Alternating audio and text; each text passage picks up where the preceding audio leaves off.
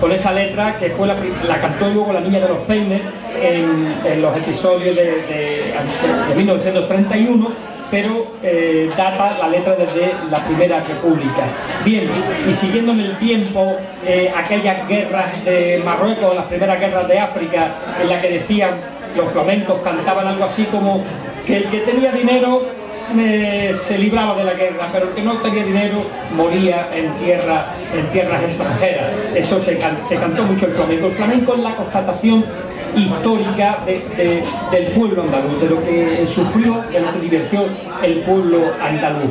Y es muy interesante ver cómo aquellas mujeres y hombres que no sabían leer ni escribir, sin embargo, y válgame la redundancia, escribieron algunos de los episodios musicales más importantes de la historia mundial, de la música mundial en el siglo XIX.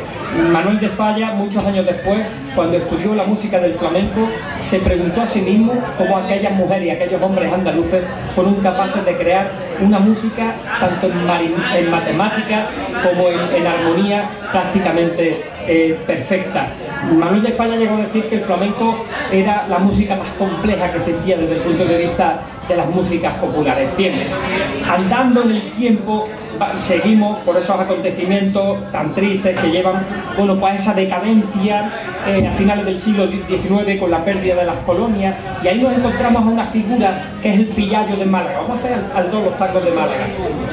Un poco para que ustedes vean eh, lo, que, lo que cantó este hombre el pillayo que era un gitano malagueño, que tuvo que criar a unos sobrinos suyos, que el pobre para sobrevivir lo metían constantemente en la cárcel porque robaba, en fin. Y en una de esas levas que hizo el, rey Alfonso XII, que ya moría, como ustedes saben, con la regencia de María Cristina, de las levas de presos hacia la guerra de Cuba, el pillayo coge esos sones de los cubanos allá en Cuba, ultramar, y se los trae para Andalucía, que eso en definitiva es la historia misma del flamenco.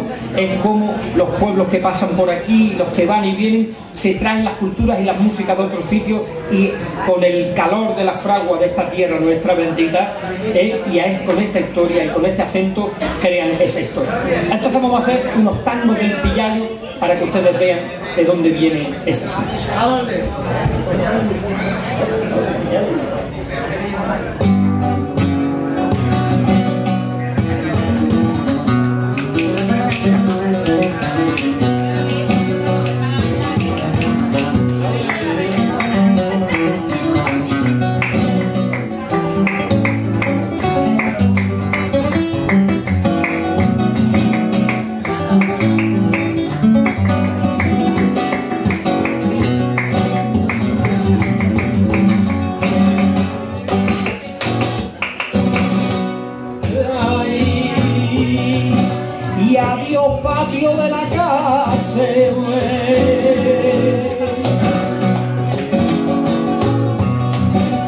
Adiós patio de la casa, rincón de la barbería, aunque el que no tiene dinero lo afeitan con una cuafría.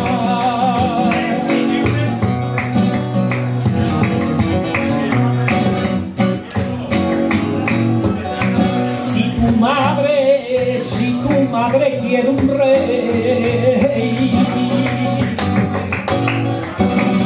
Si tu madre quiere un rey, la darás a ti.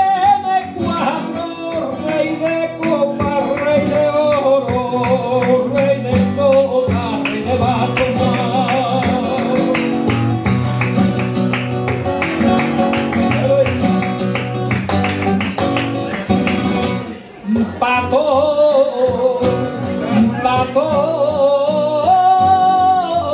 papo, papo que quiera un rey. Papo que quisiera un rey, la baraja tiene cuatro, un revés todo rey de oro, rey de sota, rey pato.